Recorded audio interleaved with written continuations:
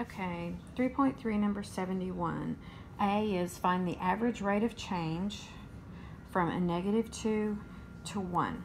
Okay, uh, the negative 1 is your answer, but just let the negative 2 be equal to A and the 1 be equal to B. Okay, we had this formula which looks just like the other one that we've used with the F's in here. So we've got here you've got your B and here you've got your A. So you just plug in the A and B respectively here.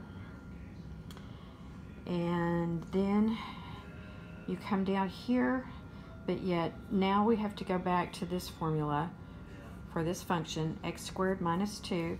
So here's your x squared minus 2, and then right back here for your minus, and then this function, which is x squared minus 2. Okay, so in the first part, you plug in, just like here, you plug in for b, you plug in the 1, and then over here you plug in the minus 2. So you end up with 1 squared minus 2, bring down your minus sign. A negative 2 squared is a positive 4 minus 2.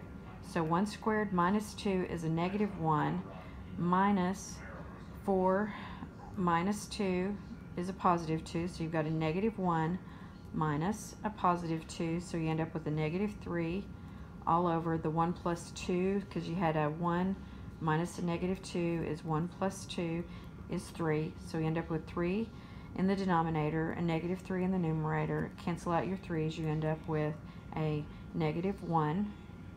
And that is the average rate of change from a negative 2 to 1 is a negative 1. And that's part A.